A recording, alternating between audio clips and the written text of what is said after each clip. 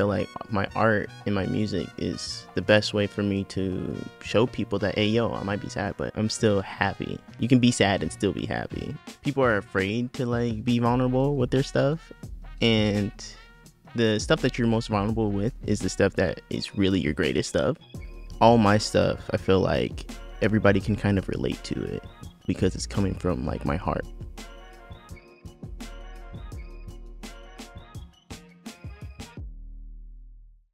Hi, I'm Anna Michelle Morejon with Metro East Community Media, here with Producers Corner podcast, where we spotlight diverse voices and content creators in East Multnomah County and beyond. And today, I'm talking with Day. Tha Day, also known as Dajour McKinley, is an alternative R&B artist from PDX Rockwood, known for his unique melodies, producing, live performance, and filmmaking skills. This Portland artist is looking to reach outside of the box when it comes to his art to not only inspire the youth, but his peers. The day has also been nominated for several awards Hometown Media Awards, Best of the Northwest, and more for his music and video production. He has worked and released alongside major record labels such as Sony, Empire, No Limit, Motown, and more. This Northwest heir will soon be taking his place among the greatest to have ever made it in his hometown. So here is my conversation with Dajour, also known as Tha Day. So, Day, tell me more about yourself. How did you get into music and also filmmaking? I got I've always been like kind of into music since I was a kid. Um, I was like listening to like you. I don't know if you guys know who he is, but his name's like Sisqó. He had like blonde hair and stuff. He was really he was really cool. Like I grew up on music like that and like like 112 and them, so I would always listen to it. And my mom had this really cool like record player, and so I would just always mess with it. And so that's really how I like I just kind of like got into music because I was just I just loved music since I was a child. So I was like, you know what, I really want to make stuff like this. And um, when it came to filming, I was like, once I was I was already in the music stuff, so I was like, okay, I, I need to find people to shoot videos for me because there was other artists. I was like, yo, you need a music video for this, you know, type of thing.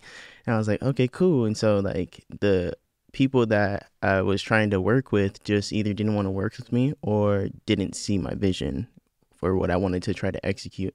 And so I was like, you know what, screw it, I'm just gonna do it myself. And um, that's into that's like you know I was like looking around for places like rent cameras and stuff, and that's actually how I found Metro East. So it's like yeah, and then like I guess the rest is kind of history. That's actually that was my next question is how would you describe like your artistic style your vision whether for the music video or even just with your music I don't know. I guess emotional. I, I really like I, everything that I do. I put my emotions uh, in charge, and so if it doesn't feel right, then I'm not gonna do it. Um, so um, that's really how like I would say very soulful. I feel like so many people do their art and try to do it in a smart way, and in a sense, it loses it its soul. All my stuff, I feel like everybody can kind of relate to it, even if you don't like fully agree on what my vision is. I feel like even if you just hear or see what I'm doing, it's instantly relatable because it's coming from like my heart. yeah so that instance that you mentioned um, with the director the camera person maybe who didn't get your vision or like what was that music video for and what was your vision i just want to know more Oh man, it was so long ago. Um, I, well, one, I could, I, well, I could see why now. You know what I mean? Because like, so like, oh man, it has to be like this. You, have to have the budget for this. But um, I felt like my dreams were just too big for certain people, and it's like, um, like some some places I feel like I also didn't have the money to like put it all together, but I also had the drive to be like, no, I'll figure it out then if that's the case.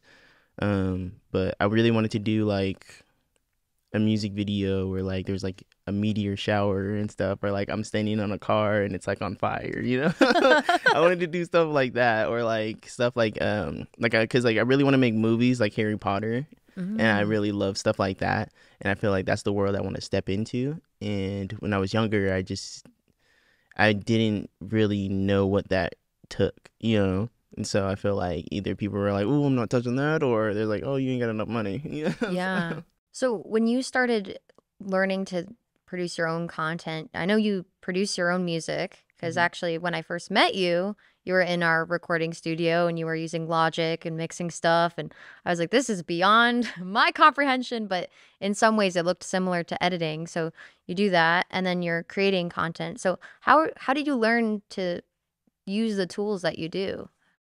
YouTube. YouTube. YouTube. And just clicking buttons, honestly. Yeah. YouTube is my best friend when it comes to anything. And that that in uh Google. Shout out Google. Thank you, Google. So you're producing content. Do you also what is in film? What roles are you usually taking? Any role, honestly. I don't care what it is. I'll do anything. Do you have a favorite? I love being a camera operator. I'm not gonna lie. Okay. I actually like that just because I'm like I feel like I have like an eye for the composition. So Mhm. like when it comes to if I have the freedom to be like, yo, hey, figure out a shot that will represent, you know, how big this person is, I'm instantly gonna go for a hero shot because that's you know what I mean. That's the that's what you want. Um, and I feel like I just kind of have a natural ability for that. I'm I could totally geek out on equipment right now. I'll try to keep Mm. this to a minimum, but like what type of cameras have you filmed with and do you have a favorite? Man, I've used like the Blackmagic here. I've used the Red camera. I've used the ARRI. I was really happy about that one. Yeah. Honestly. ARRI Alexa, Amira? Uh, yes. I can't remember which one it was. I just Was it remember that tiny or was it, the- like, It was a bigger one. Okay. It was a bigger Yeah, one. yeah, yeah. I was just super ARRI excited. anything is your Yeah, solid I was like, quality. oh, geeking out and stuff. So that's obviously my favorite one. But uh, I don't know if it's if it's not the ARRI, it would most likely be the Blackmagic, just because it's so accessible here, and so I've I got to put more XP in with that camera and learn to appreciate it way more. And I'm like, man, this actually can do what everything else does, you know. But they're super slept on, so I, I think that's also why I like it um probably the most if I can't get my hands on an ARRI. Yeah. Um I'm interested to know more about your experience with the BIPOC contractor program. I know you're able to get some camera experience there. And for context for our viewers, our listeners, like our BIPOC contractor program is through Metro East production team. Um, we bring in members of our community who identify as BIPOC for production opportunities. You were part of that program. I'd love to hear like about your experience and some of the things you learned. My, I feel like some of uh compared to the newer people that might have signed up, mine's might have been a little bit different. Um, just because I was here um a little while before that happened, and then also when I signed up, it was like right before COVID had hit, so like things kind of shut down, and then like it was a little bit slower, but um overall experience with the program was actually great just because I it gave me the the again I hate to use it but I'm gonna use it anyways the XP to use you know what I mean? To really get my hands on a camera again you know and, Right. um every, it was great working with everybody and like being able to make different connections with other people that I didn't even know had businesses in the community I'm living in too you know? So it was really great. Um everybody's super helpful when it comes to like yo a what do you what do you need to do? You don't need to do anything? Okay cool. Well here can you tape down these chords? You know what i mean? Or not even honestly because when we started i feel like it's really just like everybody already knows their roles. So if you don't then it's like what are you doing? You know? But there ever the communication is great when it comes to working with everybody um at least from my experience. Um but yeah yeah. So- i think that yeah sorry, yeah like in yeah. the program were you would you be on crew with other people in the bipoc program?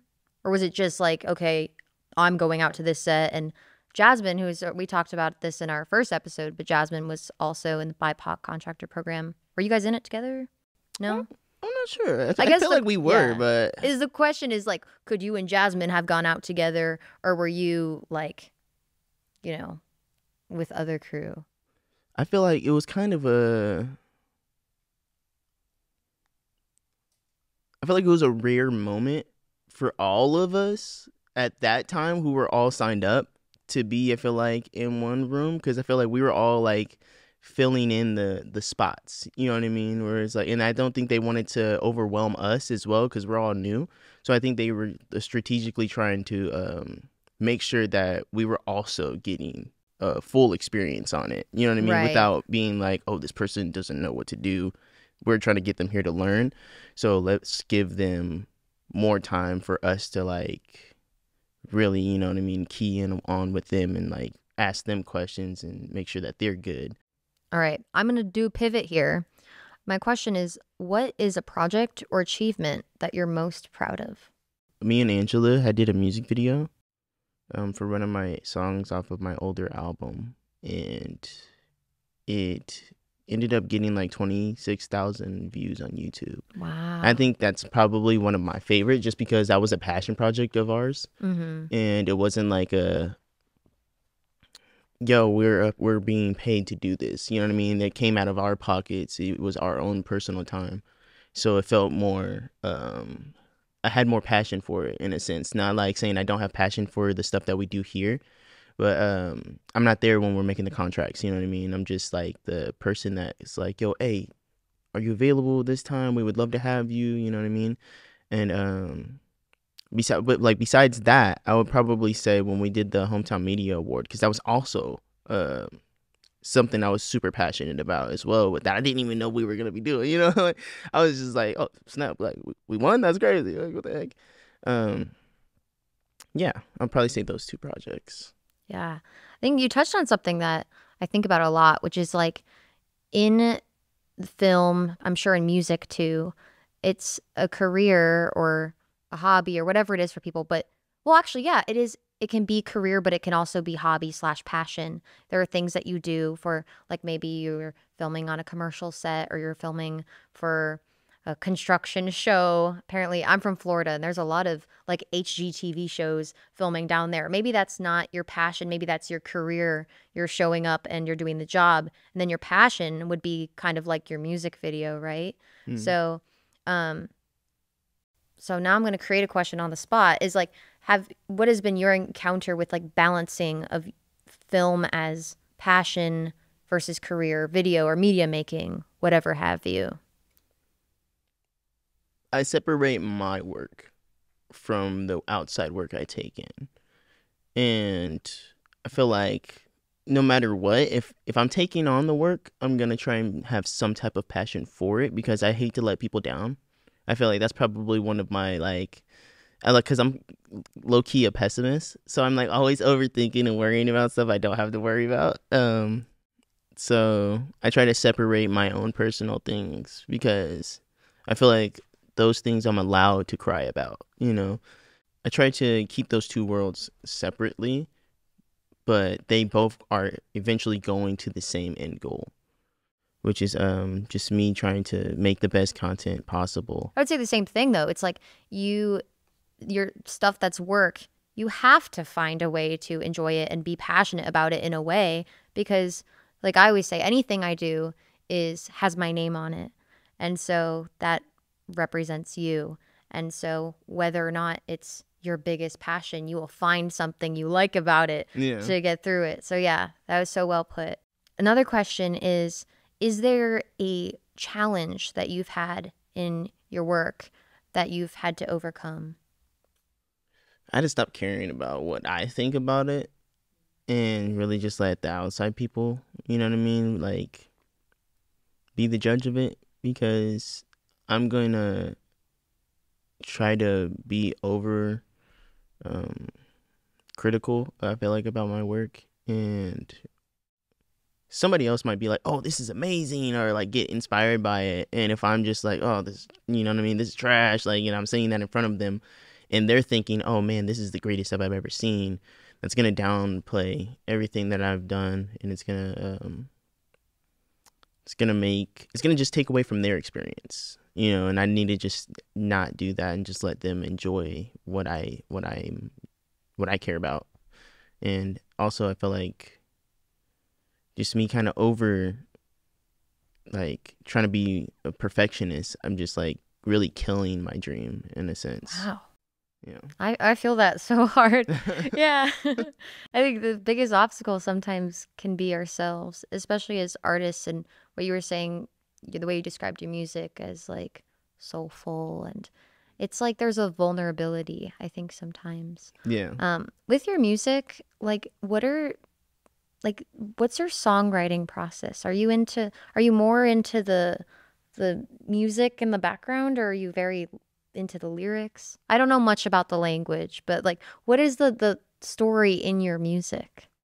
i like to talk about uh things that like make me sad in this in a bad like It's the pessimism. it's the pessimism, yo. And, um, I feel like that's the realest version of me is when like because I feel like I'm like undercover sad all the time, but like I'd hate to show people that because I don't want to make anybody else sad because I'm like I mean that's life, you know. I mean nobody wants to let people know you're sad, and I feel like my art and my music is the best way for me to show people that hey yo I might be sad, but I'm still okay. You know, I'm still happy. You can be sad and still be happy, you know? People are afraid to like be vulnerable with their stuff. And the stuff that you're most vulnerable with is the stuff that is really your greatest stuff. Do you have like music community here, filmmaking community? What is it like here for you as a creative in Portland, Gresham?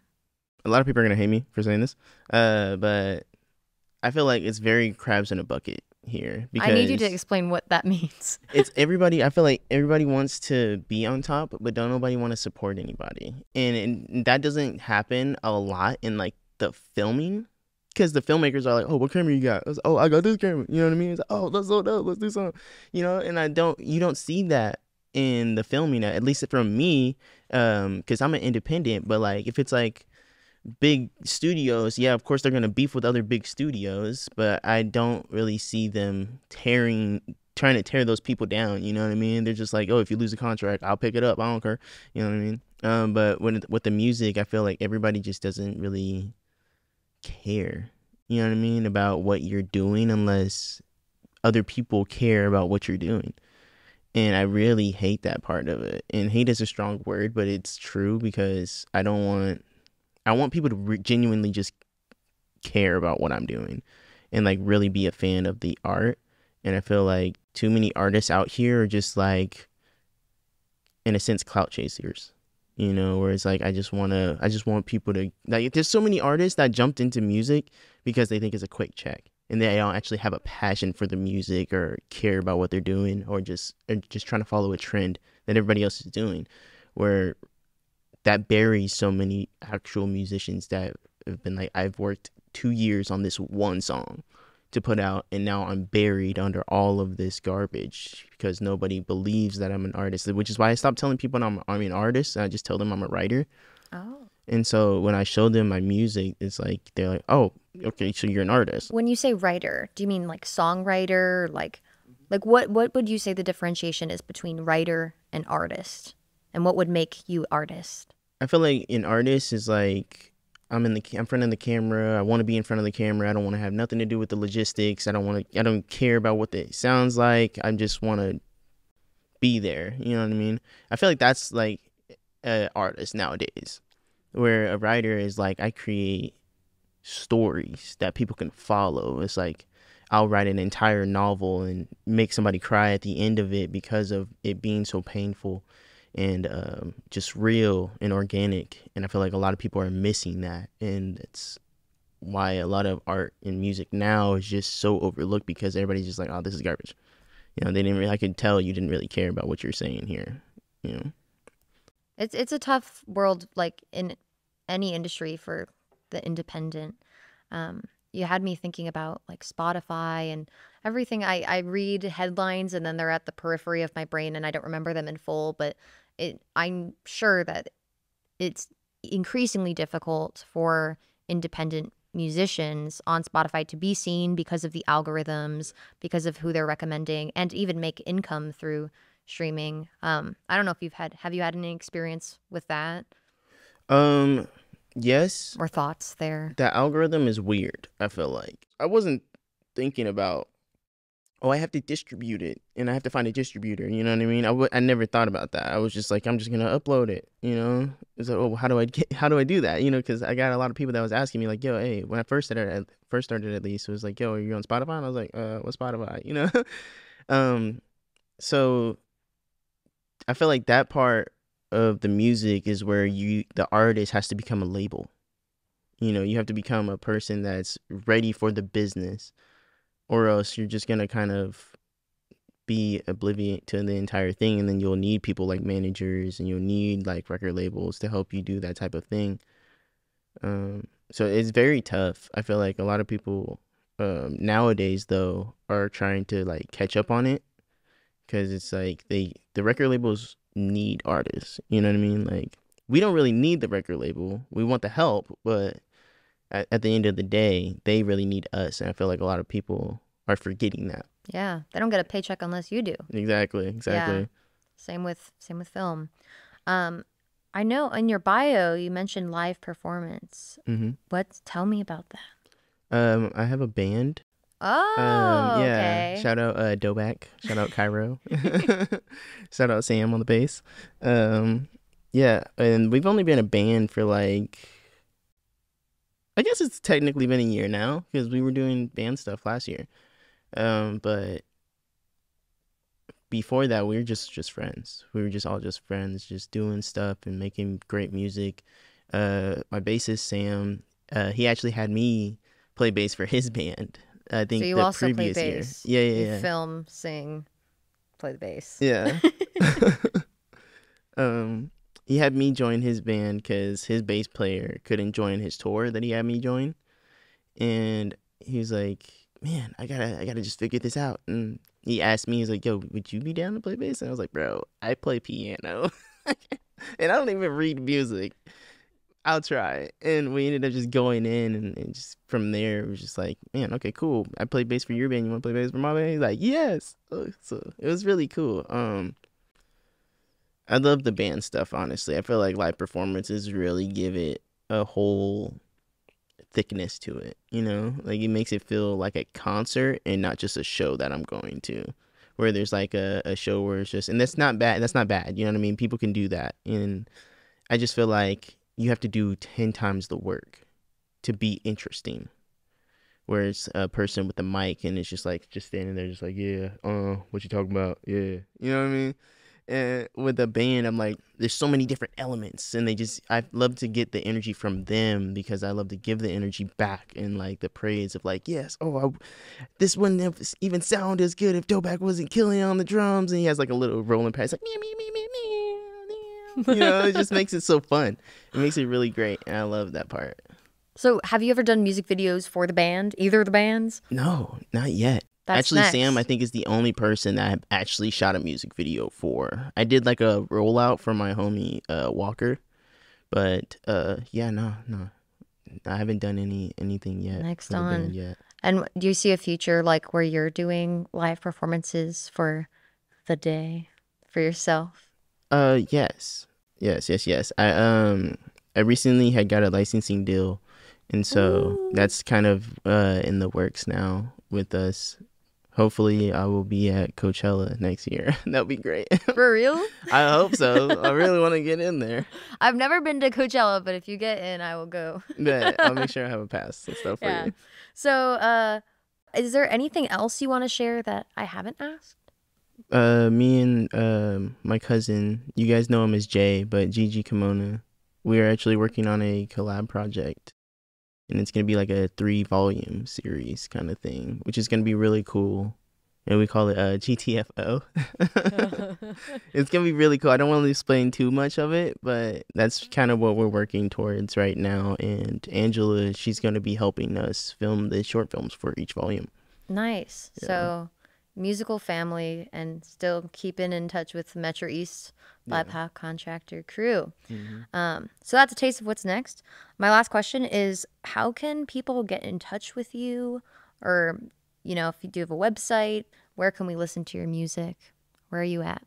Um, I'm on Instagram under uh, only uh, tha underscore the day, basically. Um, and Spotify is just the day. Apple Music the day. T H A. A lot of people get it confused because it's like T H E. It'll try to autocorrect it. Don't do it.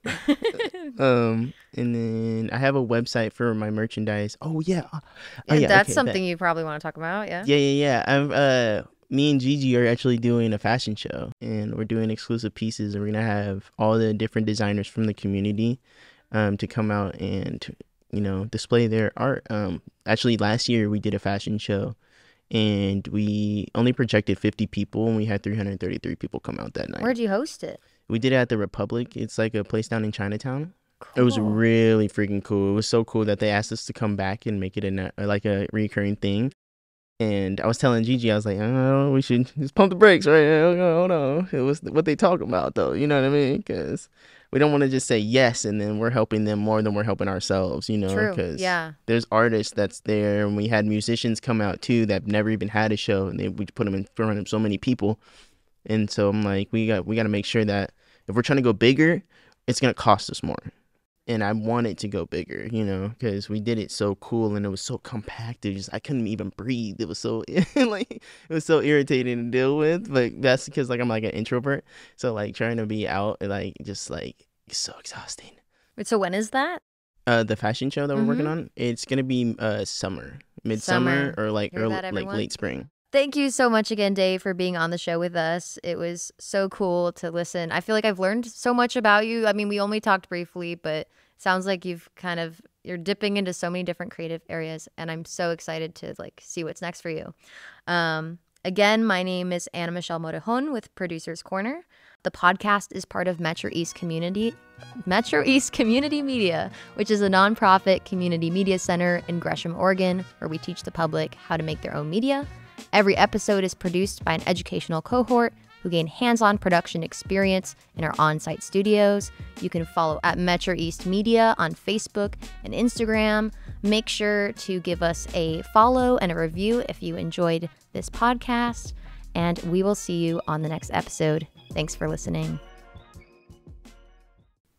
Is this the part where they're like talking and then it's like silent? You know, it does like that. old- Um, it might be silent, or we'll just have you asking that question, and then we'll sit here and drink water and fizzle out. or and it's like not actually saying anything, just moving your lips.